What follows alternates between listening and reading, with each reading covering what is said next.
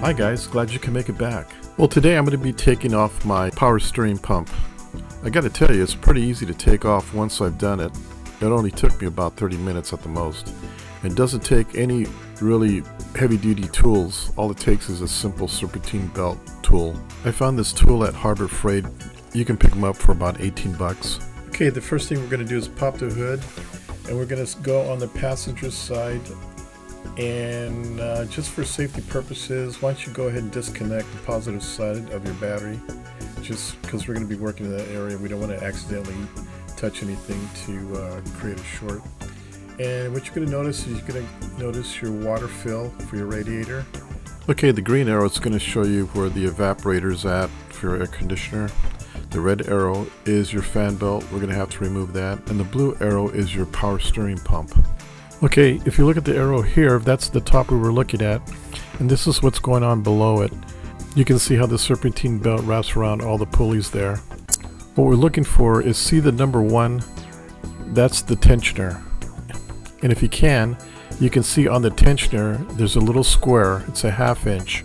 You can put your half inch socket, that's where the red arrow's at. Or buy the tool that will fit in the tensioner, once it's in there, what you're going to do is you're going to turn it clockwise or towards the front of the engine.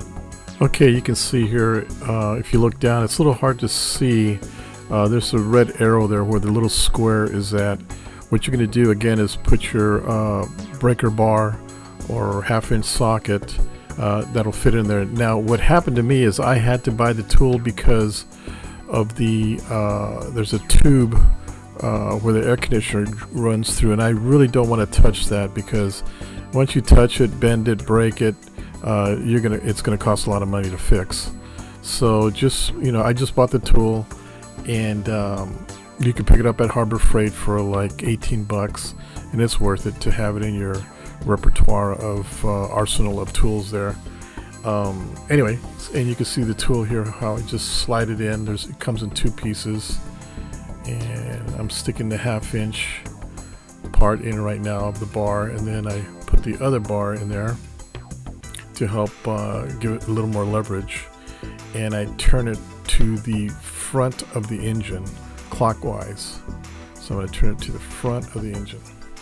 And once I pull forward you can see where the red arrows at. My fingers are pushing the top of the serpentine belt off the pulley of the power steering pump Remember, we're only taking off the serpentine belt off the power steering pump pulley. As you can see here, the serpentine belt is off to the side of the power steering pulley. Okay, next what we're going to do is take some hoses off. We don't need to take this hose off. Leave that one on. That's to your radiator. So you don't take you don't need to take that off. There's the high pressure hose here. We're going to take that off. That's a uh, 16 millimeter. And there's a bolt in the back there. It's only one bolt, and that's a 13 millimeter bolt, okay? You only have to take off one bolt. Now this hose here we are going to take off. That goes to your tank, to your power steering pump. Um, so you're going to take a screwdriver obviously and loosen the and loosen the hose clamp. Uh, be really careful because it is plastic and you don't want to break it. I used some vice grips to break the seal.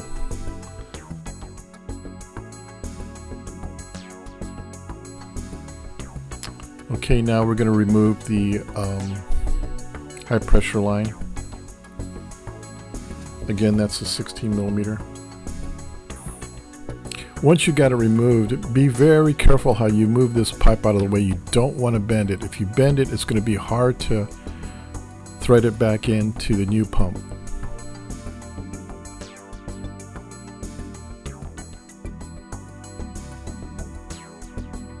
Now we're going to go to the back and look for that bolt and you'll see it here. You'll see a red arrow point right at it.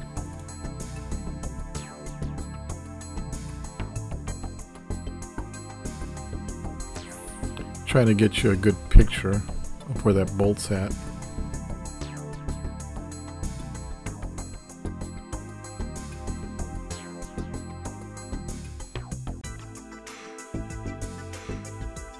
You'll see it come up right about now. Look for the red arrow. There it is, right there.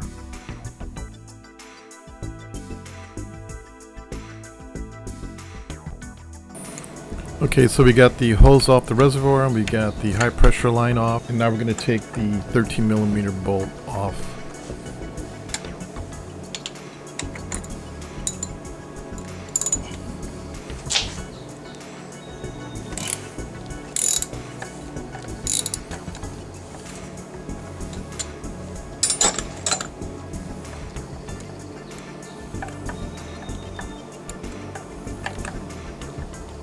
You can see it's starting to get loose.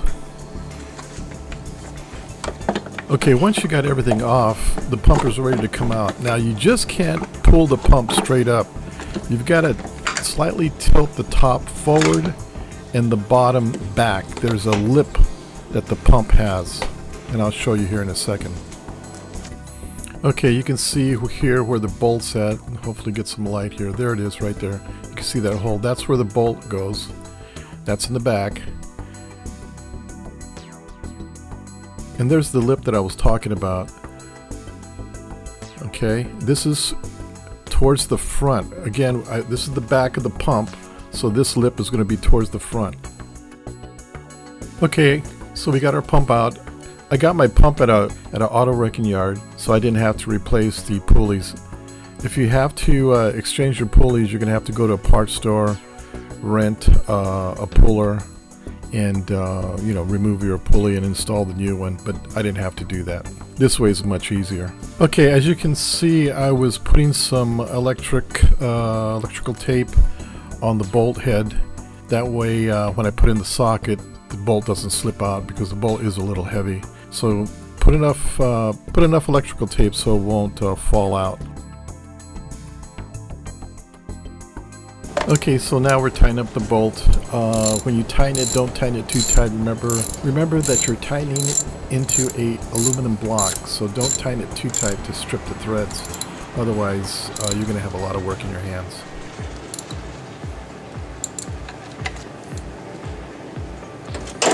Okay, once the bolts tighten up, we're going to go ahead and put our serpentine belt on.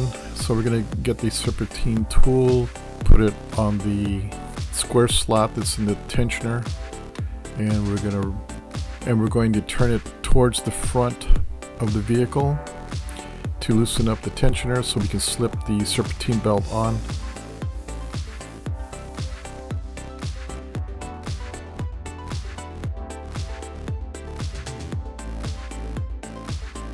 Okay, you can see how easy the belt went in. Now we're going to go ahead and connect our hose into our tank.